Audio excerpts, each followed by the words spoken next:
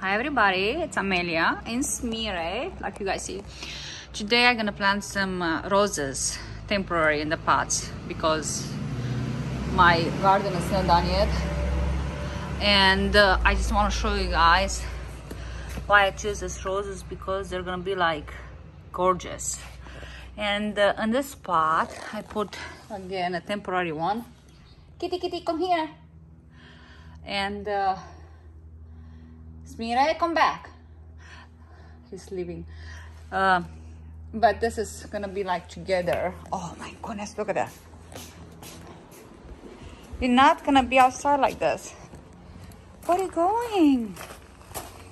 Where are you going? Troublemaker. We're gonna go inside now. No.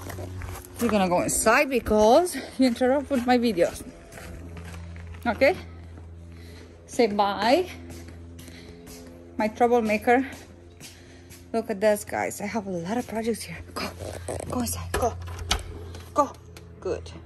Go go go. Go mousy go. Good. Okay. Let's go back here to the videos. Well sorry about that guys. Anyways what i put here in this spot it's a beautiful hydrangea. It's another temporary one. It's just one root.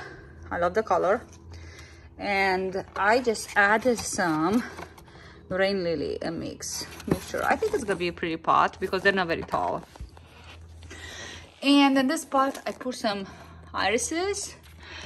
And look at this beautiful plant here, guys. It's gonna be together. And those two, they're little small bulbs. And uh, this rose is gonna be like eight to 10 feet well guys i still have a lot of stuff to do here. Like you guys see planting planting a lot of dahlias here. I don't know what you and crocus mia but i love dahlias. I'm obsessed with dahlias guys. And uh, more dahlias here. That's gonna be oh my goodness look at this guys. I don't even know i have to just show you each one individual they're two beautiful colors next to each other. But anyways, guys, that's for now. Thanks for watching. Subscribe and let me know what you guys think. Thank you. Let me know what you honestly favorite guy. Look at those beautiful ones, guys.